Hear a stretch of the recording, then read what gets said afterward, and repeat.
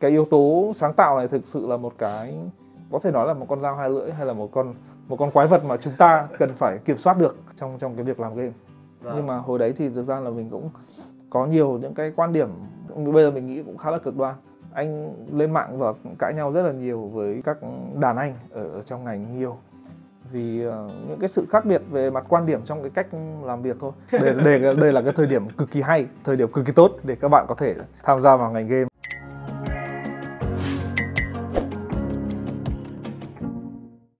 chào các bạn và chào mừng các bạn đã quay trở lại với Người trong môn nghề và mình là Andy. Và hôm nay thì mình đã mang đến đây một người khách mời. Đó, Đây là anh Hùng Vũ Một người bạn khá là thân thiết với cả Sparium từ những ngày đầu Và em nghĩ là anh Hùng nên tự nói về bản thân mình để cho các bạn hiểu thêm về anh. Ừ. Ừ, con người mình thì cũng không có gì quá là phức tạp. Ở ừ, con người mình thì cũng không có gì quá là phức tạp. Thì mình xin giới thiệu trước tiên mình là Hùng Vũ. Ờ, như anh bạn Andy vừa nói thì mình là một người bạn rất là thân thiết của Spy Room và công việc chính của mình đấy là một người thiết kế game và gamification. Ngắn gọn là như vậy. Theo những gì em nhớ không nhầm thì anh Hùng đã từng tham gia làm một quyển sách về Spy Room rồi đúng không? Ừ đúng rồi anh có tham gia hai quyển. Hai quyển anh, anh viết hai bài. Theo ừ. em nhớ nhầm rồi chết xếp trừ lừa em chết. Ừ. anh tham gia hai quyển là hai quyển nào? Uh, quyển đầu tiên là quyển uh, à ba cái tuổi trẻ đúng rồi. Uh, bài viết đầu tiên của anh là là uh, cho quyển sách dăm ba cái tuổi trẻ. Thì thực ra đấy là một bài viết từ trên diễn đàn và mọi người có xin phép lấy lại bài đấy để đăng vào thành sách. Thì bài đầu tiên còn bài thứ hai là một trong quyển là người trong môn nghề. Thì anh có viết về nghề của anh. Hôm nay thì mình đã bắt anh hùng vũ ở đây bắt cóc anh hùng ở đây để kể cho các bạn một câu chuyện về một cái vấn đề mà mình em nghĩ là các bạn sẽ khá thích đó là bọn mình sẽ nói chuyện về game. Ừ. và tại sao anh hùng lại có một cái vị trí như bây giờ đấy là một ừ. người làm game ừ. và có lẽ là không để chương trình bắt đầu quá dài thì mình nghĩ là chúng mình sẽ đi đến với nội dung chính của chương trình ngay bây giờ đó và anh hùng anh có chuẩn bị sẵn ở đây là năm thứ đó năm món đồ mà anh hùng nghĩ là nó gắn bó với anh hùng trong suốt cái chặng đường mà anh trở thành một người sản xuất game như bây giờ ừ. và anh có thể bật mí với các bạn xem là cái món đồ đầu tiên mà anh muốn kể về nó là cái gì được không ừ. Ờ thì um, cũng rất tiếc là anh không mang thực, thực sự không mang cái cái năm cái món đồ đấy ở đây mà đây chỉ là cái cái câu chuyện giữa hai anh em mình thì, thì anh có nói đến cái cái năm cái món đồ đấy. Vâng. Thì để gọi là bật mí thì đầu tiên đấy là cái bộ đồ chơi điện tử bốn nút. Ừ. Đấy, một đồ bộ đồ chơi quốc dân của của anh em uh, 9x ngày xưa. um, cái thứ hai uh, đấy là cái phần mềm làm game uh, amateur ngày xưa mà anh anh uh, tìm được trong một cái đĩa CD tên là Game Maker Game Maker 8 ừ. đấy rồi tiếp theo đấy là một cái laptop thời sinh viên của anh đấy. và thứ tư là cái bàn phím bàn phím cái bàn phím đấy và cuối cùng là cái ví rỗng là món đồ rất là kỳ quặc sẽ là cái ví rỗng nhỉ ừ. em rất là muốn speed up chương trình để em hỏi luôn về anh về ừ. cái ví rỗng ấy nhưng mà chắc thế thì không được đâu ừ. thế nên là bây giờ em sẽ hỏi anh về cái sự lựa chọn đầu tiên của anh đã ừ. đó là cái cái tay cầm của cái bộ đồ chơi điện tử. Bốn nút đúng không? Ừ, không ờ, ý nó anh không phải là cái tay cầm nó lao cả một cái máy. Ừ, nó, nó lao cả, một cái máy và nó có dây đến cái cái tay cầm ấy. Đấy thì thực ra là cái cái món đồ đấy thực ra là mình đang muốn nói đến gọi là cái cái duyên mà mình mình tìm đến với cả game ấy. À. thì là thực ra ngày xưa là có lẽ là cũng khá là khác biệt so với nhiều các cái bạn khác ở cái thời điểm đấy. Thì thực ra bố anh mới là người đưa anh vào vào game chứ thực ra là cũng không phải là anh tự tự tìm thấy ở đâu đâu. Thì ngày xưa bố anh thì cũng làm ở một cái viện nghiên cứu. Thì ở viện thì người ta cũng được người ta cũng cấp cho bố anh cái máy tính. Thì ông cũng gọi là uh, tò mò thôi. Chắc là lúc đấy máy tính là cái gì đấy rất là mới mà đúng không? Cho nên là cũng rất là tò mò. Cho nên là cũng cài một số các cái game khá là nổi tiếng. Hồi đấy anh nhớ hồi đấy là anh với bố anh ngồi chơi cái game tên là Doom rất là nhiều. Doom. Ờ Doom một cái game bắn súng góc nhìn người thứ nhất rất là đẹp. Hồi đấy. Đấy thì tức là từ từ lúc đấy là bố anh cũng có nhiều những cái sự tiếp cận với cả những cái tựa game ở cái thời điểm đấy. À. khá là nổi tiếng. Đấy thì uh, qua đấy thì ông cũng dẫn dắt anh vào cái con đường gọi là uh, đam mê với cả game. Đấy thì uh, thực ra là anh anh không hề đòi nhá nhưng mà hồi đấy bố mẹ anh cũng mua cho anh cái cái máy đồ chơi điện tử bốn nút đấy, à. đấy thì gọi là nó cũng giống như kiểu là bây giờ các bố mẹ cho con xem tivi hay là xem youtube các thứ gì đấy để để gọi là chúng nó ngồi yên để để để để bố mẹ ừ, để nó không phá để bố mẹ còn còn làm các cái việc quan trọng khác trong gia đình. Đấy thì cũng chắc là hồi đấy cũng như vậy. Thì thì thì bố mẹ anh cũng mua cho anh cái điện tử bốn nút đấy thì anh cũng uh, có rất là nhiều các cái kỷ niệm rất là đẹp với cả cái cái cái máy điện đồ chơi điện tử bốn nút đấy.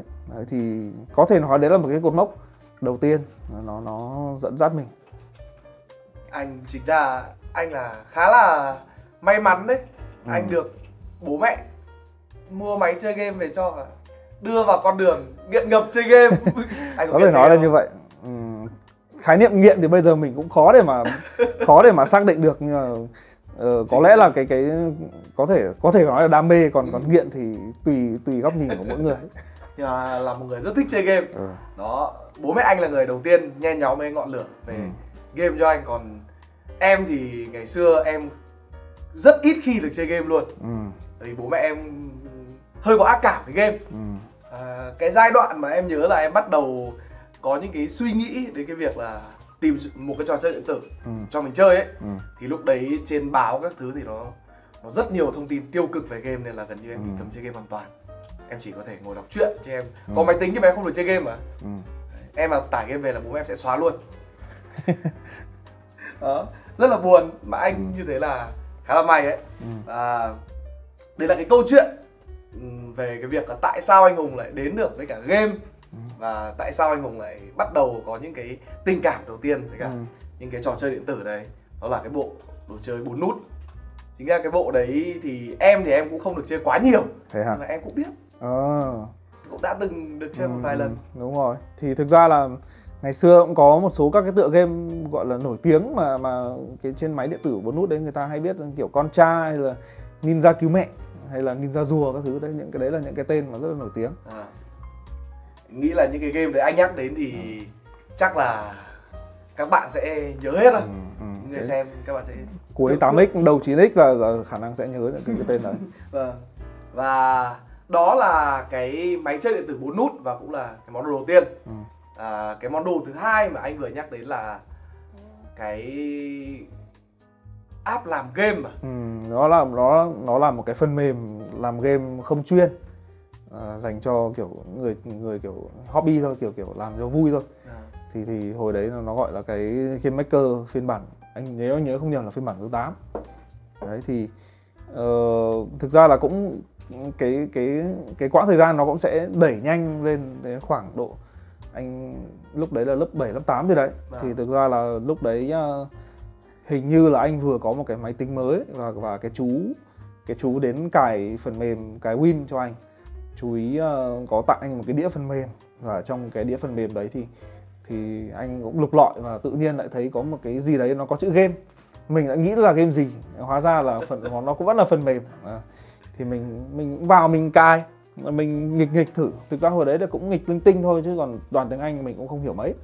Đấy thì thì ờ, thì nếu mà nói một cách ngắn gọn thì đấy cũng là một cái cột mốc cũng rất là đáng nhớ của anh. À, khi mà mình tự nhiên mình tìm ra được một cái cũng không hoàn toàn là game nhưng mà đối với anh tại cái thời điểm đấy thì cái việc mà mình nghịch ngợm cái cái cái phần mềm đấy nó cũng vui nó cũng đem cho mình những cái cảm giác những cái cảm xúc rất là tuyệt vời như kiểu là mình được làm game ấy tức là mình hình dung là ở cái tuổi đấy nhưng mà mình mình được trải qua một cái cảm giác sáng tạo mình mình được làm những cái thứ mà nó chạy được. Ừ. đấy đấy thì đấy nó là một cái cảm xúc nó cũng rất là hay. Thì thì anh rất là nhớ cái cái cái thời điểm đấy. Và thực ra là sau đấy thì uh, cũng có nhiều khi là bởi vì là mình rất là tò mò xem là mình sẽ dùng cái phần mềm đấy như thế nào ấy. Cho nên là nhiều khi là tại hồi đấy nó có một cái gọi là cái cái uh, anh không nhớ tạm thời anh không nhớ cái tên nhưng mà đại loại là một hồi đấy muốn muốn dùng mạng ấy là phải rút dây ở điện thoại ra rút dây ở điện thoại bàn ở nhà ấy xong rồi cắm vào máy tính để dùng. Đấy gọi là à dial up dial up đúng rồi. Đấy thì thì anh cũng hay thỉnh thoảng gọi là ở nhà của mình xong rồi cũng trốn bố mẹ rút dây điện thoại ra rút dây điện thoại ra cắm vào máy tính xong rồi để mình biết tại sao không? Để mình lên mấy diễn đàn mình lên các cái diễn đàn hướng dẫn ở, ở Việt Nam hồi đấy. Uh, hồi đấy cũng có mấy cái diễn đàn cũng khá là nổi nhưng mà chắc là bây giờ đọc tên là chắc cũng chẳng ai biết đâu. Đấy thì anh cũng lên đấy và anh tìm những cái các phải nói là các anh. Hồi đấy các anh cũng uh, nhiều anh. Uh, cũng uh, có những cái bài hướng dẫn để mình sử dụng thử đấy. Thì mình cũng lên và mình cũng trao đổi các thứ. Uh, nhưng mà hồi đấy mạng thì rất là chậm rất là kém cho nên là nhiều khi là mình kiểu chỉ lên mình xem cái hướng dẫn này xong rồi mình tải một số các cái hình ảnh mẫu để mình làm game ấy. Vâng. ví dụ như hình cái xe ô tô hình hình cây cỏ các thứ. Thì mình tải về thôi là cũng ngốn một đống tiền điện thoại của bố mẹ. Thế là cũng nhiều pha là cũng bị mắng rất là ghê, ghê gớm. Đấy thì nhưng mà anh rất là nhớ cái cái thời điểm đấy là ờ, rất là nhiều những cái cái trải nghiệm quý báu chính là cái ông chú cài máy tính cho anh là đưa đến cho anh một bước ngoặt của cuộc đời. Ừ, có thể nói thế với với một cái đĩa CD. Đúng với một cái đĩa CD. Hình như em nhớ không nhầm là anh Hùng anh Hùng không học về làm game đúng không? đúng rồi. Ờ thực ra ờ đấy cũng là một cái trải nghiệm rất là hay. Mà cũng, cũng nói vui là là cái đợt mà mà Spy Room ra quyển sách du học ký là anh cũng khá là ngưng ngáy. Theo theo cái nghĩa là ờ, có có thể nói là cái trải nghiệm du học của anh nó có rất nhiều hoặc là nó có một số cái góc nhìn mà nó có vẻ là không không không đẹp lắm. Vâng. đấy, hoặc là ừm, hoặc là xoay quanh cái việc đi du học đấy nó có nó có một số các cái điểm mà anh thấy rất là hay.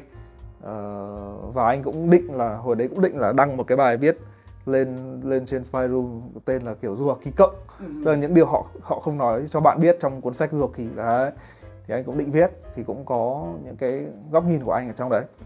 Thì đúng rồi thì thì về cơ bản anh không anh không học về ngành game. Ờ, thực ra là khoảng độ ờ, khoảng khoảng độ sau lớp 10 anh học hết lớp 10 thì tức là trong cái thời gian đấy anh vẫn mò mẫm vẫn nghịch ngợm với cả Vâng. cái cái cái tool làm game kia nhá. Nhưng mà đến khoảng độ lớp 10 thì ờ, thực ra cũng là một cái cái thời điểm mà nó cũng không không quá là tốt để để người ta quyết định cái việc đi du học. Ý ý của anh là ít nhất là ở cái, cái thời điểm đấy của anh nhá là học hết lớp 10 thì làm gì đã có đứa nào nghĩ đến chuyện là mình đi học ngành gì. Có thể bây giờ các bạn khác nhưng mà đối với anh thì thời đấy thì học hết lớp 10 anh và những người xung quanh những người bạn xung quanh anh nhìn thì Vâng. đa số người ta cũng không nghĩ quá nhiều đến chuyện là về sau mình mình làm gì. Mà thì thường là các cái vấn đề về hướng nghiệp ấy thì đến phải đến lớp 12 thì người ta mới bắt đầu nghĩ bắt đầu lúc đấy phải chọn trường mà đúng không Vâng. thì đa số các bạn là lớp 12 mới bắt đầu nghĩ đến đấy thì tuy nhiên đùng một cái thì một hôm đẹp rồi mẹ anh nhìn thấy một cái chương trình phổ biến du học ở trên TV ờ, nói về một cái trường của anh là trường trường MDIS ở bên Singapore ấy Vâng. thì thấy có vẻ cũng hay hay mà đúng lúc đấy thì gia đình cũng có một chút gọi là điều kiện để hỗ trợ thì cũng Có thu xếp. Gọi là cũng, gọi là có có của ăn của để mà. Thì tức là đúng đúng cái thời điểm đấy là Vâng. là gia đình đang có điều kiện thôi chứ Vâng, cũng không vâng. phải lúc nào là cái điều kiện nó cũng xem xem như thế. Đấy ý ý là như vậy. Thì đấy thì ông bà gọi là nảy ra ý tưởng là, là cho anh đi du học. Thì nó cũng rất là bất ngờ thôi chứ cũng cũng không có một cái đề xuất gì của anh hay là anh cũng không có cái ý tưởng gì ở đấy cả Ông bà gọi là đặt ra cái đấy luôn. Thì thực ra là hồi đấy anh lại rất học dốt môn hóa anh không biết một tí gì về môn hóa luôn. Mà cô cô giáo chủ nhiệm của anh lại là cô giáo dạy hóa. Đấy cho nên em có thể thấy là cái cái áp lực của anh khi mà anh học lớp 10 ở lúc đấy là, là nó cũng khá là ghê gớm. Đấy thì cho nên là nghe đến chuyện du học tức là thoát khỏi môn hóa mà. đấy thì anh rất là sướng. Đấy anh anh đồng ý luôn. Anh không phải nghĩ gì. Đấy thì nó lại thành ra một cái việc là mình đồng ý luôn nhưng mà lại mình lại không suy nghĩ nhiều về cái việc là mình đi mình học cái gì mình làm cái gì. Đấy thì nó cũng là một cái sự gọi là cũng một cái điều cũng không không tốt lắm. Đấy thì thế là anh nghĩ theo nghe theo lời bố mẹ và đi sang Singapore để để học ngành quản trị kinh doanh. Đấy Ừm, cũng gọi là thì thực ra nghĩ lại thì thì anh cũng cũng không cũng cảm thấy là mình tại thời điểm đấy mình cũng chưa thực sự sẵn sàng để thuyết phục bố mẹ học một cái ngành đó nào đấy khác. Vâng. mình tại vì lớp 10 mà lớp 10 thì cũng đã nghĩ gì đâu lúc đấy lớp 10 vẫn còn nghĩ đến chuyện ừm, cay cú vì không vô địch được giải bóng đá của trường toàn trường chứ còn cũng không nghĩ gì nhiều. Đấy thì đúng đúng thật sự là ở cái thời điểm đấy nó hơi hơi hơi chéo ngoe ở, chỗ đấy. Anh tôi là muốn đi du học chỉ để tránh xa khỏi môn hóa. Đúng rồi. Nhưng mà anh ạ chúng ta có thể tha hóa nhưng mà hóa không bao giờ tha chúng ta. Đúng rồi đấy. Chúng ta không bao giờ thoát khỏi đó đâu. Đó. đúng thật sự. À, cái câu chuyện anh hùng đi du học và anh học cái ngành quản trị kinh doanh à? Ừ. cái câu chuyện đấy nó có liên quan gì đến cái năm cái món đồ mà anh muốn nói với các bạn không? Ừ, ờ, cũng có một chút xíu. Ờ, thực ra là cũng gọi là gọi là liên quan thì cũng Ừ. không hẳn nhưng ý ý là cái cái cái món đồ thứ ba của anh là cái laptop Vâng. thì là cái laptop mà ờ, bố mẹ anh chuẩn bị cho anh để mang sang đi đi học Vâng. đấy thì anh khi mà anh sang đến nơi và anh anh đang trong thời gian học ấy thì thực ra là anh vẫn tiếp tục nghịch ngợm với cả cái cái cái tool game maker kia Vâng. cũng chẳng biết thế nào thực ra lúc đấy là mình chỉ có một cái suy nghĩ rất đơn giản là mình kiểu ừ mình cũng có một cái tôi riêng. Mình đi học mà mình nghe theo lời của bố mẹ. Đấy, thì tuy nhiên là mình vẫn có một cái tôi riêng. Trong thời gian rảnh thì mình vẫn cứ tự nghiên cứu, tự mò mẫm với cả cái cái tôi đấy của mình. Đấy, chẳng mình bạn gọi như vậy. Thì thì nó cũng, tức là bởi vì cái cái máy tính hồi đấy thì nó cũng rất là yếu. Cho nên là cái việc mò mẫm làm game thì thực ra là nó cũng cần phải cái máy nó phải ok một tí. Đấy, thì cái máy cái máy tính của anh hồi đấy nó rất là yếu. Cho nên là nó cũng, kiểu, gây ra nhiều những cái sự bực tức không không cần thiết. Đấy, cho nên thành ra là đến khoảng độ năm 2 thì thì anh ờ, xin bố mẹ mua cho cái máy tính khác. Nó mạnh hơn. Và thực ra cái máy tính đấy bây giờ nó vẫn còn đang đang ở trên ở trên công ty của anh. Vẫn còn đang đang sử dụng cho một số các công việc văn phòng. Đấy thì đấy cũng là một cái món đồ mà nó cũng là một cái kỷ niệm quan trọng để nó nhắc cho anh rằng là à thực ra là mình vẫn có một cái tôi nó âm ỉ cháy trong cái thời gian mà mình mình đang học một cái ngành mà mình mà mình không không đặt ra.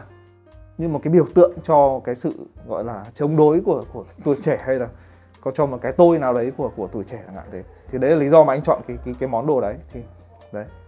Thế thì à, sau cái khoảng thời gian anh đi du học về ngành quản trị kinh doanh ở nước ngoài ừ, xong anh về Việt Nam ừ, và hiện tại bây giờ anh đang làm về game ừ. thì tại sao anh lại đưa ra quyết định đấy? Ừ.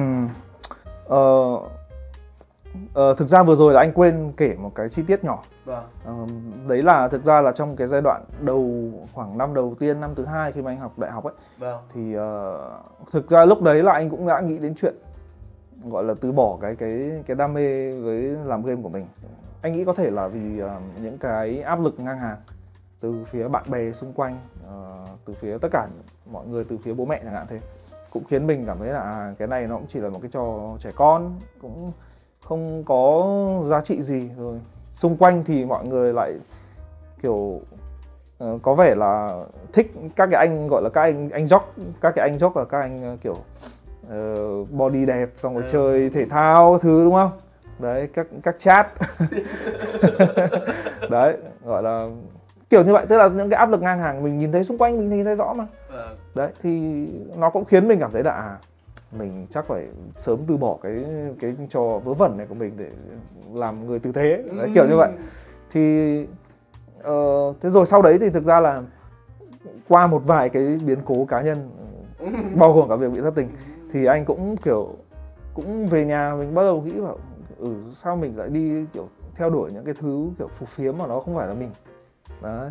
Thì lúc đấy anh kiểu chán đời ấy chỉ đơn giản là chán đời không muốn ra ngoài đường Vâng. đấy thế là mình lại lại cạch mình lại mở máy tính ra mình lại ừ, có khi mình lại tiếp tục làm cái cái cái, cái con game mà mình đang vẫn đang làm dở mấy năm. Lúc đấy tức là cái anh nghĩ lúc đấy là cái thời điểm mà anh kiểu thực sự quyết định là mình sẽ không không kiểu lừa dối bản thân nữa.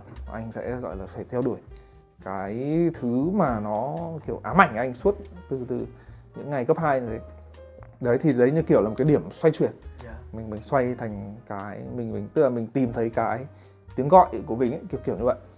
Đấy thì sau tất nhiên anh đấy vẫn chỉ là một cái sự xác nhận cái cái bản thân mình thôi chứ còn chứ còn anh cũng vẫn chưa có cái đủ cái can đảm để xin bố mẹ là con xin nghỉ học con chuyển sang đi học ngành game hả anh không dám thế. Vâng. anh vẫn phải học xong cái cái cái ngành quản trị kinh doanh Ờ, nhưng mà sau đấy thì anh cũng ừ, xin phép ông bà là đấy uh, bao giờ con về Việt Nam thì con xin phép con đi làm game. Thì bố mẹ anh cũng lúc đấy thì lúc lúc anh về thì cũng gọi là cũng là sinh viên ra trường rồi. Thì bố mẹ anh thì cũng tôn trọng cái việc này thôi cũng cũng không cản được. Thì anh cũng bắt đầu đi làm game và và tất cả những cái trang bị mà anh có chỉ là những cái sự nghiên cứu riêng của mình những cái sự luyện tập rồi nghiên cứu riêng của bản thân mình thôi thì thực ra uh, khi mà ra trường thì anh đã bắt đầu với nghề họa sĩ cơ ừ. thì uh, đấy bởi vì các cái công việc trước đấy mà mà anh tự làm ở một mình đấy thì nó có liên quan rất là nhiều đến cái việc mà mình phải tự vẽ vâng. đấy thì anh cũng tự vẽ rất là nhiều thì thì ra trường anh bắt đầu với nghề họa sĩ trước đấy rồi nói chung là một số những cái cái sự đưa đẩy trong trong cái việc làm game này nó sẽ nó nó đẩy anh sang dần sang cái vị trí thiết kế game. Ờ, cũng không có cái một cái gì quá chi tiết ở đấy nhưng đại loại là anh cũng chuyển dần từ một công việc uh, nó mang tính gọi là kỹ thuật chuyển dần sang sang cái công việc là thiết kế thì nó nó nó mang tính kiểu tư duy nhiều hơn. À. đấy. Vậy thì sau khi anh đi du học về mà anh lại quyết định làm một cái ngành nghề mà nó không liên quan gì đến cái nội dung học của anh ở ừ. suốt mấy năm thì anh thấy cái quãng thời gian đấy có bị phí không?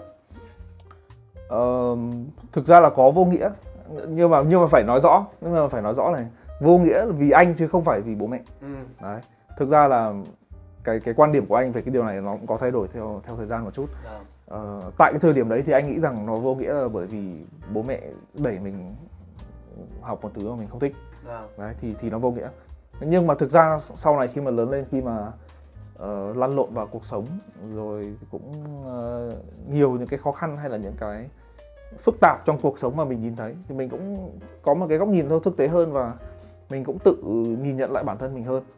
Thì anh nghĩ là uh, không có cái gì nó thực sự vô nghĩa cả. Nếu như mà mình làm nó một cách gọi là chân thành mình làm nó một cách nghiêm túc. Vâng. đấy thì thực ra mà nói là nếu như hồi đấy thái độ của anh nó nó tốt hơn theo dạng gọi là à đằng nào mình cũng chọn mình cũng đã đi trên con đường này rồi dù mình có chọn hay không đằng nào mình cũng đi trên con đường này rồi thì mình cố gắng mình mình sử dụng nó một cách hiệu quả nhất chẳng hạn thế mình có một cái thái độ tốt hơn mình sử dụng hết những cái nguồn lực mà mình có tại thời điểm đấy thì mình cũng học được nhiều điều đúng không phải không vâng. đấy thì cho nên thực ra mà nói là uh, vô nghĩa thì có có thể là vẫn vẫn vẫn vô nghĩa vì anh cũng khá là tiếc vì mình cũng bỏ lỡ nhiều thứ tại cái thời điểm đấy vâng. Thì thì anh cũng nghĩ là uh, có lẽ là vì phần mình nhiều hơn là là khi mà mình được trao một cái cơ hội đi ra ngoài như thế mà mình không sử dụng nó hiệu quả cũng khá là đáng tiếc vâng. đó là cái câu chuyện về cái laptop ừ. là cái món đồ thứ ba ừ, ừ. cái món đồ thứ tư mà rồi anh hùng có nhắc đến là ừ. cái bàn phím ừ. nó là một cái vật dụng mà đúng là không người chơi game nào mà có thể đúng rồi đúng rồi chưa từng sờ đến và tại sao anh lại chọn cái bàn phím ừ. Thì um, có thể nói cái bàn phím là nó cũng là một cái biểu tượng cho một cái giai đoạn suy nghĩ của anh. À. uh, về về cái suy ừ, cái cái cái tư duy của mình về cái ngành này. Theo dạng là ừ, tất nhiên khi mà nghĩ đến bàn phím thì chúng ta nghĩ đến anh hùng bàn phím đúng không? Đấy. Thì đây anh hùng bàn phím đây. Thì thực ra là khi mà anh mới bước chân vào vào ngành game một cách nghiêm túc ấy, vâng. thì nói chung là mình cũng có một số các cái quan điểm khá là cực đoan vâng. khá là cực đoan về việc làm game phải như thế nào đấy chẳng hạn thế kiểu làm game thì uh, nó phải nó phải thế này thế kia nó phải có hình ảnh đẹp này phải cinematic phải không hút máu không hút máu còn còn thực ra là bây giờ nói thật là khái niệm hút máu là như thế nào thì nó cũng khá là phức tạp ấy vâng. nhưng mà hồi đấy thì thực ra là mình cũng có nhiều những cái quan điểm bây giờ mình nghĩ cũng khá là cực đoan. Nhưng mà hồi đấy mình chỉ nghĩ là mình có chính kiến thôi. Đấy thì nó cũng dẫn đến việc là anh lên mạng và cãi nhau rất là nhiều với cả gọi là các đàn anh ở trong ngành nhiều. Vì uh, những cái sự khác biệt về mặt quan điểm trong cái cách làm việc thôi. Uh, hoặc là trong cái cách người ta làm sản phẩm ấy.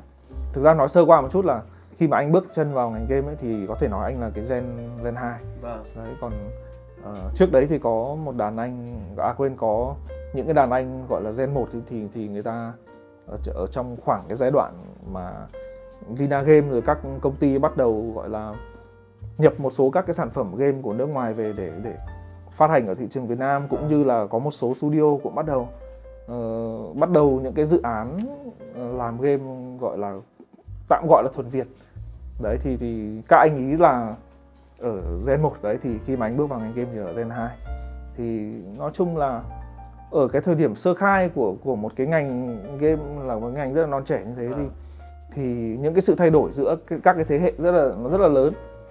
Cho nên là các cái quan điểm của của anh nghĩ là các quan điểm của thế hệ anh cũng như là so với cả cái thế hệ trước thì nó có rất là nhiều những cái sự sự mâu thuẫn có thể nói là như thế. Thì nó cũng dẫn đến việc là mình rất là trẻ trâu mình mình cũng đi mình tranh cãi tranh luận rất là nhiều với với với ờ, các anh lớn ở, ở trên mạng. Một trong số những cái chiến trường lớn ở trên mạng mà anh tham gia đấy là một cái group trên Facebook tên là dân làm game. Ừ. bây giờ nó vẫn còn nhưng mà nó thành group crypto rồi. Đi bán rồi anh. Nó không vẫn là dân làm game nhưng mà nhưng mà trong đấy mọi người toàn đăng bài về crypto. Đấy thì đấy đấy là một trong những cái chiến trường lớn mà hồi đấy anh hay hay gọi là cãi nhau với mọi người về về cách thức làm game các thứ à. đấy thì thì cũng nó cũng giống như cái câu chuyện ban nãy là mình đi làm nhiều rồi mình cũng học tập được nhiều thứ hơn mình hiểu nhiều hơn về các cái khía cạnh hay là các cái bức tranh nó nó nó tổng thể hơn ấy vâng. thì mình cũng thấy là à thực ra là mọi thứ nó cũng có cái lý do của nó và um, người ta làm theo cái cách của người ta và mình có quan điểm uh, có thể là không tốt về cái cách làm đấy. Nhưng mà nó không có nghĩa là người ta là người xấu hay là người ta kiểu có một cái ý đồ xấu xa gì đấy mà chỉ đơn giản là họ nhiều khi nó chỉ là họ không có lựa chọn nào khác. Ờ, đấy là cái cách mà cái cái thị trường nó vận hành chẳng hạn như vậy. Thì thì mình hiểu ra vấn đề đấy và mình cũng dần dần thì cũng cũng bớt trẻ trâu hơn. Nhưng mà nó nó cũng là một cái anh nghĩ là cái cái bàn phím nó là một cái để nhắc nhở cho anh rằng là mình đã từng có những cái quan điểm kiểu như thế và mình cũng từng suy nghĩ kiểu như thế và và sau đấy thì mình cũng trưởng thành hơn. Thì em có thể hỏi anh sâu hơn một tí ừ. rất, rất sâu khá sâu ấy. Ừ. đấy chính là ngày xưa ấy ừ. anh thấy cái cái thị trường game mà anh vừa nãy anh gọi là tạm gọi là thuần việt. Ờ. Anh thấy thế nào? Đánh giá của anh nhận định của anh về cái thị trường game ngày xưa? Thực ra gọi là cái ngành game Việt Nam ở cái thế hệ một đấy anh à. mà anh vừa nói đấy nhá. Thì mọi thứ bởi vì mọi thứ nó rất là mới và chúng ta tại thời điểm đấy thì cũng chưa có nhiều những cái kiểu reference những cái những cái gọi là những cái bài bài học lớn khác từ từ những cái chỗ từ những cái có thể là những cái người đàn anh những cái người đi trước mà nó gần với mình hơn. Thì bây giờ chúng ta có Trung Quốc hay là có Hồng Kông các thứ thì thì đấy là những cái thị trường mà mình có thể học tập được nhiều. Tuy nhiên là tại thời điểm đấy thì hầu như những gì mà chúng ta nhìn thấy những cái sản phẩm mà mà mọi người lúc đấy nhìn thấy thì đều là các cái sản phẩm của phương Tây các cái sản phẩm của của của Nhật hay là của của Bắc Mỹ. Thì uh, nói chung có thể nói là cái cái cách làm của họ hay là cái triết lý làm game của họ nó cũng có những cái nét riêng. Uh, thì uh, bởi bởi vì là các cái thị trường đấy người ta ở một cái tầm cỡ nó đã phát triển rồi nhưng mà mình thì đang ở con số không. Uh, mình không thể nào mà mình có thể là làm được nhận hay là adopt được hay những cái cách thức mà làm việc của người ta được mà mình phải đi mình phải build up từ những cái thứ mà nó cơ bản hơn. Thì hồi đấy anh chỉ biết là cái cái quy trình để tuyển dụng cho một ông game designer ở cái thời điểm đấy ờ. nó cũng uh, nó không có bài bản gì cả. Nhiều khi là tuyển dụng mà lại đi kiểu yêu cầu những, hiểu biết về những cái thứ rất là những cái tiểu tiết rất là có thể nói là vớ vẩn. À. ở trong game mà nó gần gần như nó chả để làm gì ấy. Nó chỉ để thể hiện một cái là những cái trivia là anh chơi nhiều game và anh kiểu biết nhiều những cái chi tiết nhỏ nhỏ trong game nó như thế nào thôi. Nhưng mà nó không thể hiện một cái tư duy gì ở đấy cả vâng. qua cái việc đấy mình cũng thấy là à bản thân các anh hồi đấy cũng chưa có quá nhiều những cái ý tưởng để làm thế nào để làm một cái sản phẩm game tốt vâng. cho nên là nó cũng rất là rối rắm nó nhiều thứ nó bị nó bị nó bị phức tạp quá cho nên là các cái sản phẩm thuần việt hồi đấy làm làm theo kiểu gọi là cứ thấy chỗ này hay một tí mình lại cấu ra thấy cái kia có cái này nó hay hay thực hay là nghĩa nghĩa là như thế nào mình còn chưa biết nhá vâng. Chỉ nghĩ là à mình thấy hay thôi còn giải thích được cái cũng không biết đâu. Thì cứ cấu ra rồi đắp vào. À, thì nó sẽ tạo ra những cái sản phẩm mà nó bị đầu voi đuôi chuột ấy. Nó hơi kiểu chắp vá đúng không ừ thì thành ra là không có nhiều các cái sản phẩm game thuần việt hồi đấy nó tạo được cái cái sự thành công hay là đạt được đến một cái tầm cỡ nó nó nó đủ lớn. Tất nhiên mình cũng không đổ tại cho các anh hồi đấy là là là kém hay gì mà đấy chỉ đơn giản là cái hiện thực của của thị trường tại cái thời điểm đấy thôi vậy thì đến bây giờ thì mọi chuyện nó có thay đổi nhiều không anh thay đổi nhiều chứ thực ra anh nghĩ anh nghĩ đến bây giờ thì thị trường làm game ở Việt Nam thì nó cũng đang trên đà để đi lên lên top rồi Vâng. Bởi vì em thấy giờ ngày xưa thì em cảm thấy là có vẻ như là game Việt không được người Việt chuộng lắm. Game Ừ. người Việt làm có vẻ như là không được người nói Việt như vậy chơi nhiều lắm mà ừ. em cảm thấy như là game người Việt làm có vẻ là hợp với cả những cái khách hàng, Ừ. những cái người chơi ở khu vực khác. Chứ Ừ. còn người Việt thì không chơi game Việt lắm. Ừ. Còn dạo gần đây em thấy có khá nhiều game do những cái studio làm game ở Việt Nam Ừ. làm khá là hay, rất là chất lượng. Ừ, ừ. Ờ, thì thực ra là nó cũng là bài toán con gà quả trứng ấy Vâng. tức là cái người làm game thì người ta cũng không chủ động tấn công vào thị trường nội địa Vâng. và bản thân những người chơi ở thị trường nội địa cũng không mặn mà với những sản phẩm mà tạm gọi là thuần Việt mà mà các nhà sản xuất đưa ra đấy. Thì anh nghĩ cho đến tận thời điểm bây giờ thì cái điều đấy nó cũng chưa thay đổi. Ờ, có thể nó sẽ thay đổi trong tương lai nhưng mà ít nhất là đến đến bây giờ thì nó anh nghĩ là nó cũng chưa có sự thay đổi nhiều. Ờ, đa số các nhà phát triển thì vẫn tấn công vào các cái thị trường quốc tế nhiều hơn thì bởi vì là cái tập khách hàng quốc tế thì nó lớn hơn rất là nhiều. Vâng. và dù cho cái sản phẩm của người ta có lựa chọn cái cái angle hay là cái cái nội dung của nó như thế nào ấy chăng nữa thì vẫn sẽ có một cái tập khách hàng nào đấy ở quốc tế nó đủ lớn để nó nuôi sống cái sản phẩm đấy. Thì tuy nhiên là có cái cái thị hiếu của của thị trường Việt Nam ấy thì nó cũng chưa đủ lớn và nó cũng uh, chưa đủ phong phú để có thể nuôi sống được các cái sản phẩm mà tập trung vào cái thị trường nội địa. Cho nên là cũng cũng rất là khó. Đấy, anh như anh nói thì đây là bài toán con gà quả trứng thôi. Thì nó cũng cần anh anh nghĩ là để cho cái thị trường nội địa nó có đủ sức mua để nuôi sống được các cái sản phẩm dành cho thị trường nội địa thì bản thân cái toàn bộ cái cái nền văn hóa của mình nó cũng phải cùng phát triển lên. Nó còn còn nhiều những cái yếu tố khác nữa để nâng cái cái, cái tầm cỡ văn hóa của một đất nước lên. Thì nó sẽ không phải là trách nhiệm của riêng ngành game. Cho nên là cũng cũng khó mà trách được cái cái cái cái hiện thực này. Đấy. Vậy thì nếu như bây giờ ờ, các bạn khán giả của chương trình và muốn tìm hiểu và muốn dấn thân vào cái con đường ừ. làm game này thì anh nghĩ là các bạn trẻ bây giờ có những cái cơ hội nào tốt hơn ngày xưa? Ừ, ờ, xem nào. Ờ, về cơ bản thì các các cái cơ hội hiện nay thì cũng có rất là nhiều, nhiều nhiều hơn ngày xưa vô cùng luôn. Ờ, ít nhất là về mặt thứ nhất là về mặt giáo dục là bây giờ cũng có đã có nhiều các cái ờ, các cái bên các hay là các cái tổ chức hay cũng như là các cái cá nhân. Ờ, đứng ra gọi là cũng có những cái lớp học hay là những cái khóa học ờ, phục vụ cho ngành game. Ờ, có các trường mở ra này cũng như là các cá nhân gọi là những cái các anh các chị đàn anh senior ở trong ngành game cũng đứng ra tổ chức các cái lớp học cá nhân. Ờ, hướng dẫn cho mọi người ờ, những cái bước đi cơ bản Ờ, làm một việc ví dụ như là về lập trình về vẽ hay là về thiết kế game thì cũng có khá là nhiều các cái lớp học kiểu như vậy. Thì ít nhất là về mặt trang bị cho các bạn sinh viên là anh đã thấy là tốt hơn rất là nhiều. Và cái thứ hai là cơ hội cho các bạn về về mặt nghề nghiệp. Thì thực ra là mình có thể chỉ đơn giản mình mình lên Facebook mình search những cái bài tìm kiếm tuyển người Vâng. trong ngành game thì mình cũng có thể thấy là cái cái cái nền nền lương cái cái base salary cái nền lương cho mọi người cũng khá là ổn. Anh anh anh nghĩ cũng khá là ổn khi mà làm việc trong trong ngành game. Chưa nói đến cái khối lượng công việc trong đấy như thế nào nhé Vâng. nhưng mà cái công việc đấy nó trả lương cho người ta khá ok. Đấy thì thì là như vậy.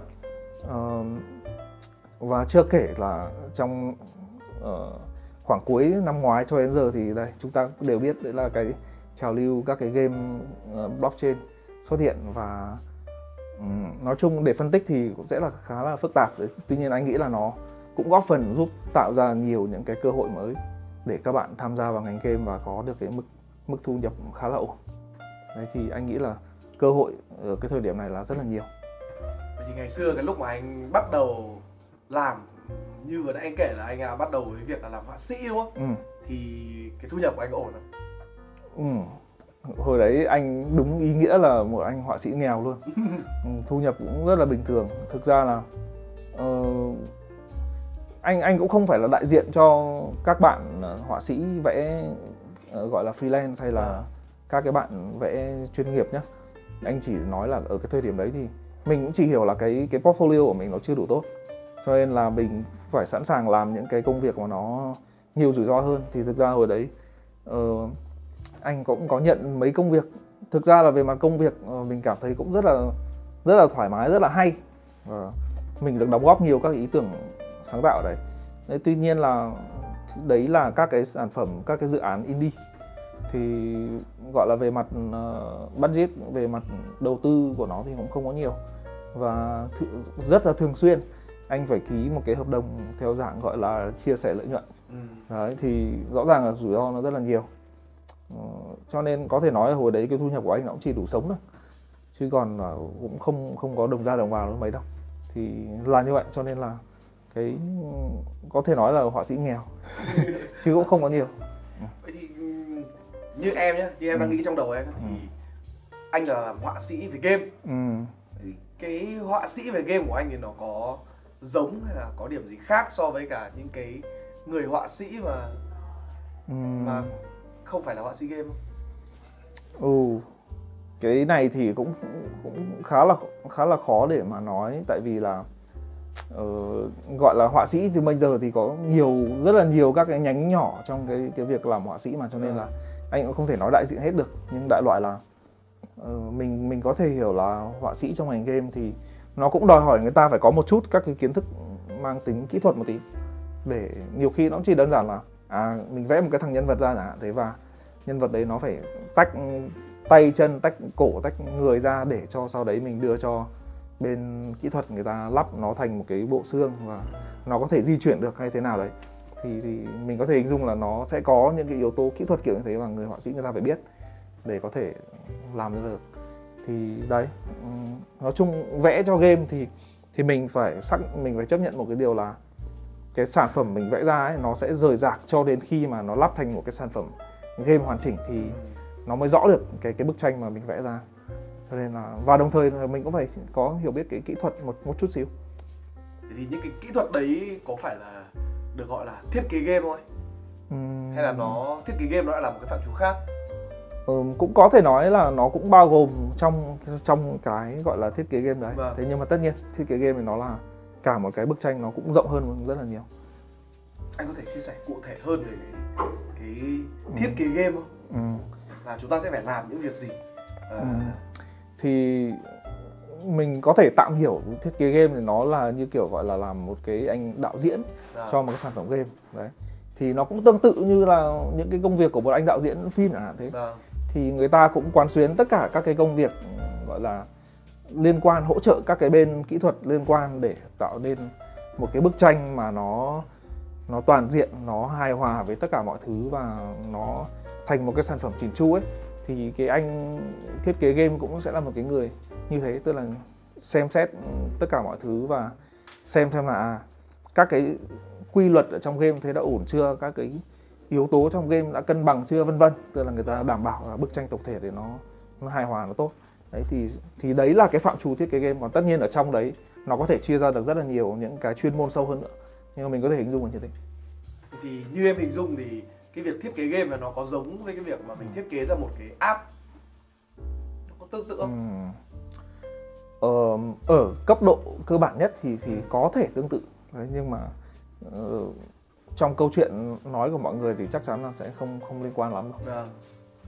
Theo em thấy là trong cái ngành làm game ấy thì ừ. nó có rất nhiều công việc, có rất nhiều role cho từng người.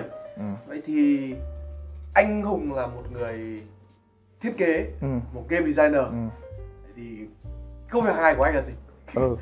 công việc của anh hàng ngày uh, nếu mà nói là là đơn giản thì cũng khá là đơn giản anh chỉ làm việc với cả các cái file tài liệu thôi nó có thể là doc nó có thể là excel cũng có thể là là powerpoint luôn đấy thì chủ yếu nhá Ờ, với một cái dự án game ấy, thì nó sẽ có những cái file tài liệu để nó mô tả các cái tính năng, để nó có một cái góc nhìn tổng thể với cái sản phẩm đấy là nó có những cái gì.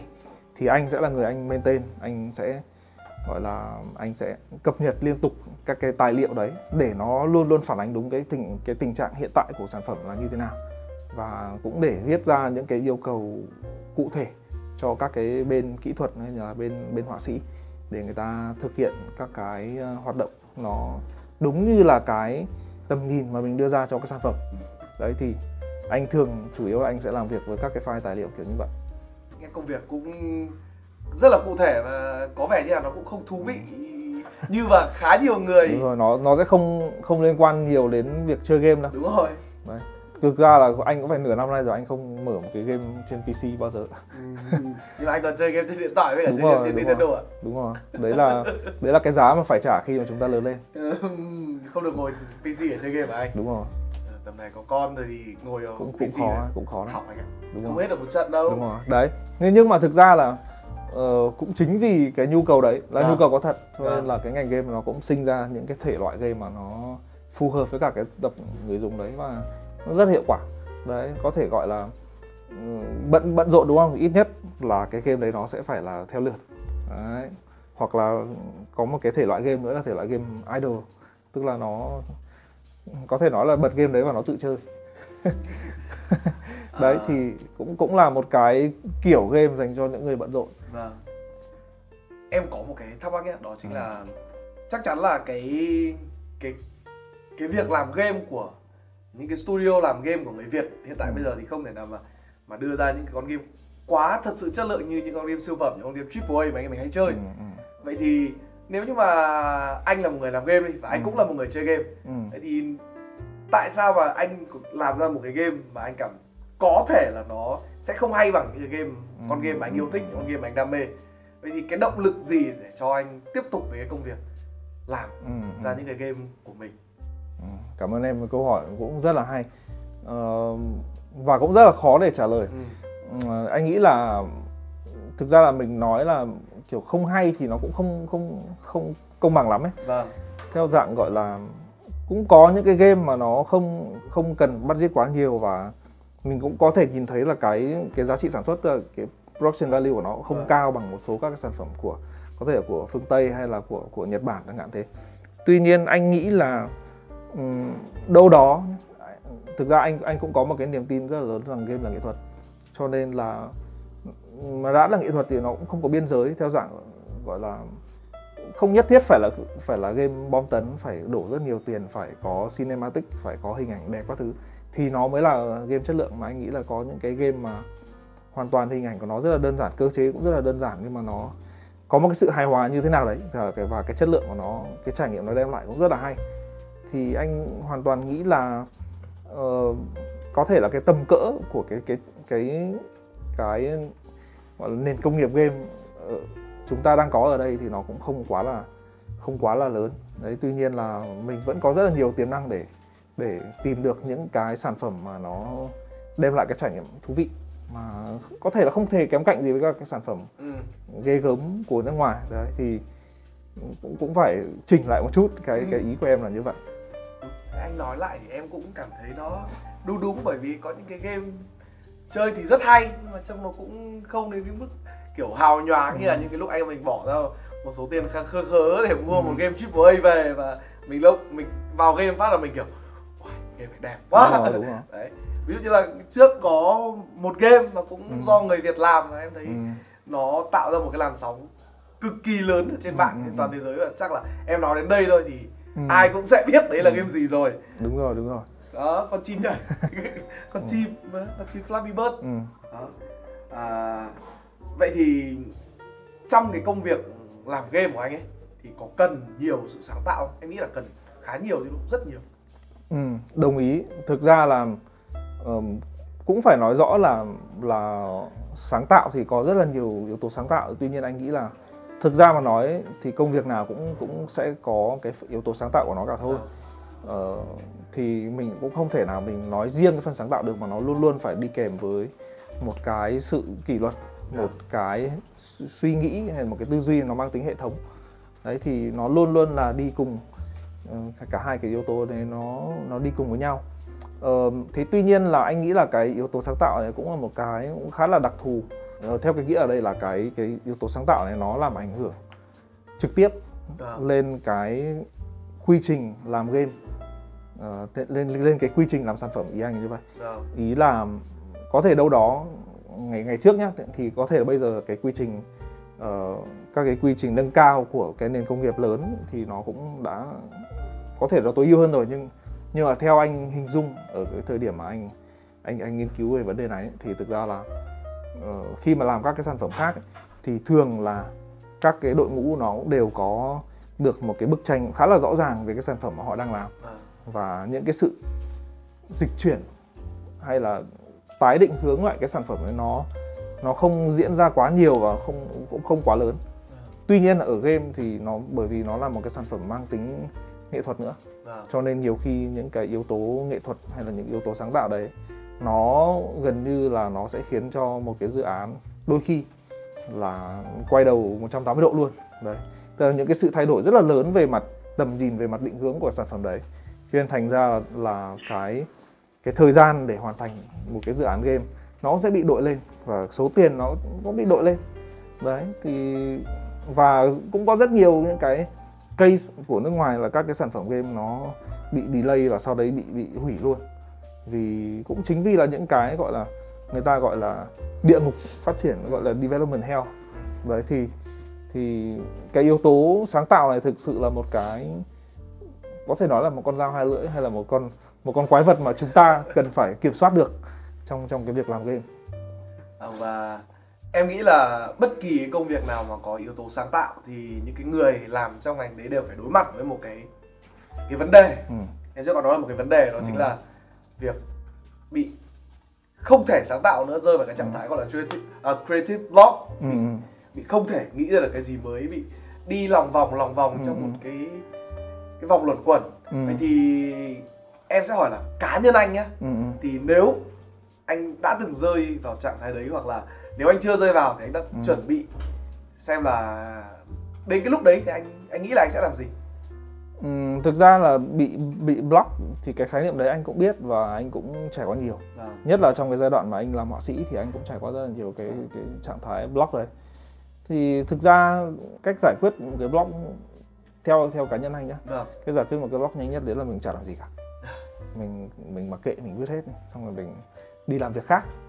Thậm chí là đôi khi là uh, anh anh không nhớ tác giả của quyển sách này nhưng mà anh anh có một quyển sách nó nói về là vâng. công thức dành cho những những cái người lười mà người ta cứ hay kiểu việc hôm nay là cứ để ngày mai kiểu vâng. kiểu như vậy thì trong đấy người ta trong đấy cái, cái ông tác giả đấy ông ấy cũng có nói là uh, đôi khi là cái các cái công việc mà nhàm chán mà vâng. mình nhìn thấy ví dụ dọn nhà quét nhà rồi nấu cơm rửa bát các thứ ấy, những cái công việc rất là bình thường rất là vớ vẩn có vớ vẩn. Trong trong một cái gia đình ấy à. thì mà mà bình thường khi mà mình bận rộn mình rất là coi thường nó. Thì thực ra là chúng nó lại có cái yếu tố mang tính nó giải phóng đầu óc của mình rất là nhiều. À. tức là bởi vì nó thuần túy là các cái việc tay chân rất là đơn giản và nó giải phóng đầu óc của mình. Và khi đấy thì thực ra khi mình làm các cái công việc đấy thì đầu óc của mình nó được tự do nó vận hành một cách một cách gọi là hết công suất thì thì nó sẽ khiến mình thực ra là đôi khi mình cũng sẽ vỡ ra được một cái điều gì đấy quan trọng trong cho cái công việc của mình. Thì mình cũng sẽ là à ừ, mình tìm ra được lời giải cho cái việc này rồi như thế là mình sẽ vượt qua được cái block đấy. Thì thực ra là thường xuyên là anh uh, vượt qua được cái cái cái cái creative block đấy của mình bằng cách mình không mình buông hết công việc đấy mình đứng dậy mình làm việc khác. Hoặc chỉ đơn giản là mình đi mình đi hưởng thụ cuộc sống thôi thế mình đi ra ngoài mình đi xem phim mình đi chơi để cho cái gọi là cái đầu óc của mình nó được xa ra khỏi công việc. Vâng. và nó được tự do nó được giải phóng thì mình sẽ vượt qua được thì đấy là cá nhân của anh Được. Đó. vậy thì uh, hôm trước trước khi cái buổi ghi hình này được bấm máy thì bọn em có một bài đăng ở trên uh, fanpage của ừ. người trong môn nghề và bọn em có cho các bạn khán giả biết trước là bọn em sắp tới là sẽ mời anh ừ. là một game designer đến và em thấy khá nhiều bạn thắc mắc nhiều bạn hỏi ở trong cái post đấy là các bạn cần phải học cái gì để trở thành ừ. được một game designer ừ. ờ, đây là một cái câu hỏi mà anh thường xuyên nhận được à. cả ở cả ở những cái kênh cá nhân cũng như là trên Spyroom anh cũng nhận được rất là nhiều ờ, thì thực ra câu trả lời này nó cũng tùy thuộc vào trường phái vâng. ờ, anh anh cũng sẽ xin phép không nói những cái trường phái khác vâng. ờ, anh chỉ nói là anh đối với cá nhân anh thì anh hay khuyên các bạn các bạn là uh, nên theo đuổi hoặc ít nhất là các bạn ý uh, nên học lập trình vâng. còn lập trình đấy các bạn có thể tự học hoặc là có thể theo hẳn cái ngành lập trình luôn cũng được thì cái đấy là tùy thế nhưng mà cái cái bước đệm đầu tiên để để đi vào ngành game thì thì nên là lập trình uh, tất nhiên có những bạn mà có thiên hướng kiểu muốn làm họa sĩ và muốn đi theo cái con đường họa sĩ thì thì uh, các bạn có thể theo đuổi cái con đường đấy rất là bình thường nhưng tuy nhiên anh nghĩ là để cho một người người ta có được một cái uh, nó nào nhỉ một cái bước đường phát triển sự nghiệp nó gọi là nó càng càng đi được lên cao và nhìn được cái bức tranh tổng thể của một cái sản phẩm cũng như cái quy trình của nó như thế nào ấy. Thì nên bắt đầu với với cái việc lập trình. Thì nó sẽ là những cái uh, những cái yếu tố mà cơ bản nhất và quan trọng nhất của một vâng. cái sản phẩm game để các bạn ấy à đi từ đấy các bạn ấy nhìn ra được nhiều vấn đề của các cái khía cạnh khác nhau của một cái sản phẩm. Để sau đấy các bạn có thể phát triển được cái sự nghiệp nó lên được xa hơn thì anh nghĩ cái nền tảng lập trình rất là quan trọng. Đấy. Đó là câu trả lời của anh Hùng cho các bạn rằng là nếu mà các bạn muốn bước chân vào cái ngành làm game thì nên học về lập trình một chút. Và em nghĩ là một cái điều cần thiết nữa đó chính là các bạn phải có như anh Hùng ấy là có một sự đam mê nhất định một sự yêu mến nhất định với cả game. Ừ. đó và các bạn khi mà các bạn đã yêu mến khi bạn đã thích nó rồi thì cái việc học nó sẽ trở thành một cái gì đấy không quá nặng nề nữa như anh hùng. Anh hùng có thể vừa học ở trường vừa có thể tự tìm hiểu về việc làm game xong rồi cái khoảng thời gian đi du học ở bên nước ngoài vẫn hoàn thành được chương trình học ừ. và vẫn tiếp tục gọi là nâng cao những cái kỹ năng về việc làm game cho bản thân. Đó. Thì em nghĩ là cái việc tự học trong bất kỳ một cái ngành gì nó cũng là một cái rất là quan trọng. Ừ. nên là nếu mà các bạn có thực sự yêu thích và thực sự muốn trở thành một game designer hay là một người làm về game thì đấy như anh cũng nói là hãy học một chút về lập trình. Đấy, các bạn hoàn toàn có thể tự học mà. Ừ. không ít thì nhiều nên học lập trình đấy, vậy thì uh, đó là câu hỏi của khá nhiều bạn ừ. mà bây giờ em sẽ hỏi một câu hỏi của một bạn ừ. đấy bạn đấy có tên là Thành Luân ừ. đó câu hỏi của bạn Thành Luân là em là một người khá là yêu thích game ừ. hiện lại đang học kinh tế ừ. nghe giống anh ấy nhỉ em có thể chuẩn bị những gì để chuyển mình dần sang các mảng về vẽ các mảng về game như là anh Hùng ạ cảm ơn ừ. anh và cảm ơn người trong môn nghề đã đọc câu hỏi của em và rất cảm ơn bạn Thành Luân đã gửi câu hỏi đến cho bọn mình và cho anh Hùng. Và cái phần trả lời câu hỏi này thì em sẽ nhường cho anh. Ừ. bạn hãy hỏi anh mà. Uh, ok. Uh, xin chào bạn Thành Luân. Uh, uh, mình nghĩ là cái uh, cái cái uh, con đường mà bạn đang đi thì có vẻ cũng khá là giống mình ở cái thời điểm mà mình là sinh viên. Thì thực ra mà nói thì khi mà bạn đang là sinh viên kinh tế ấy, dạ. thì mình nghĩ trước hết là bạn nên cố gắng làm sao để để bạn gọi là lấy lấy ra được nhiều giá trị nhất từ cái ngành bạn đang học đã à. tức là uh, mình nghĩ là đừng đừng nên để cho những cái cái những cái hobby hay là những cái cái niềm đam mê cá nhân của mình nó làm ảnh hưởng quá nhiều đến cái đến cái ngành học hiện tại của mình à, trước hết ý mình ở đây là là mình phải đảm bảo là cái cái cái những cái kiến thức mà mình đang học ở trên trường nó phải được tiếp thu đúng đã. Bởi vì sự thực mà nói là không có cái gì nó là phí cả không có cái gì nó là sai cả. Chỉ là các cái kiến thức này chúng ta chưa có cơ hội để được áp dụng nó thôi. Đấy. Thì trước tiên là phải đảm bảo là việc học ở trên trường nó phải tốt nhá. Uh, và cái thứ hai mình nghĩ ở đây là có lẽ là bạn nên bắt đầu nghiên cứu dần về thiết kế game. Nếu mà bạn chọn con đường mà mà thiết kế game giống như mình à. thì bạn nên bắt đầu nghiên cứu về về cái môn này. Thì thực ra để tự nghiên cứu thì uh, ít nhất là mình cần phải có một cái nền tảng ngoại ngữ tốt là tiếng Anh. Thì mình cũng phải có cái khả năng đọc hiểu nó phải nó cũng phải đủ tốt. Bởi vì đa số các cái tài liệu chất lượng hiện tại cho cái cho cái ngành này thì nó vẫn là ở các cái trang các cái nguồn ở nước ngoài cho nên là Vâng. cần phải có nền tảng tiếng Anh tốt này. Và đấy thì và quan trọng hơn nữa là cái khả năng tự học như, như bạn Andy vừa nói. Thì đấy là phải có cái khả năng gọi là tự nghiên cứu tự tìm tòi. Đấy thì đấy là với ngành ngành game design nếu bạn muốn theo đuổi. Và đồng thời là cũng nên ờ, cái này thực ra là là là tùy ý bạn nhé nhưng mà như mình vừa nói thì cũng nên ờ, học một chút về ít nhất là về cái logic của cái ờ, môn lập trình. Vâng. đấy thì thực ra là mình có thể ờ, thử với một số các cái ngôn ngữ lập trình nó ở bậc cao. Thì để mình hiểu được cái logic của nó thôi. Thì cái logic đấy chính là những cái bánh răng quan trọng để vận hành một cái sản phẩm game mà cho nên là mình nên hiểu. Đấy thì đấy là những cái chia sẻ của mình cho bạn Thành Luân. À, và đó là câu trả lời của anh Hùng cho cái thắc mắc của bạn Thành Luân và mong là những cái điều anh Hùng nói sẽ giúp cho bạn có một cú drift chuyển mình mượt nhất có thể. Đó. Và từ nãy giờ chúng ta đã đi một cái hành trình là khá dài đấy anh ạ. Ừ.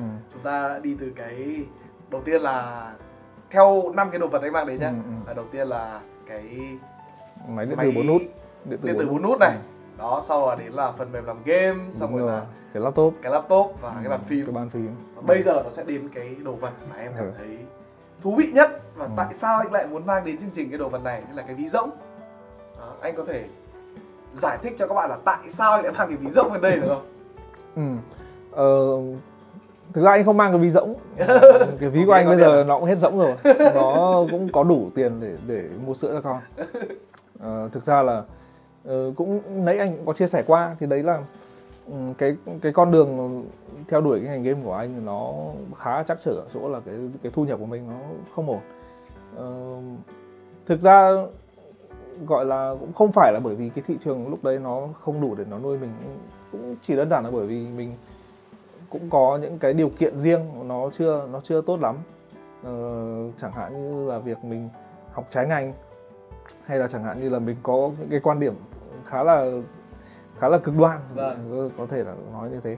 Chính vì những cái điều đấy cho nên là nó khiến cho cái cái cái, cái quãng đường của mình nó cũng chắc trở thêm. À, Ờm, thế nhưng mà thực ra anh nghĩ là ờ, cái ví rỗng ở đây cũng cũng như là một cái sự kết luận cho cho cho anh đặt ra cho chính bản thân mình thôi. Vâng. Tức là ờ, bản thân mình thực ra là cũng có thể gọi là tự tự thay đổi được những cái suy nghĩ của mình có thể tự trưởng thành hơn để đi đến những cái góc nhìn mà nó ờ, anh nghĩ cực đoan cũng không tốt lắm nhưng ý là mình mình có thể đi đến được những cái góc nhìn hay là cách tư duy mà nó cân bằng hơn. Vâng. Mình nhìn nhận mọi thứ nó công bằng hơn. Đấy thì thì lúc đấy cái ví của mình sẽ hết rỗng.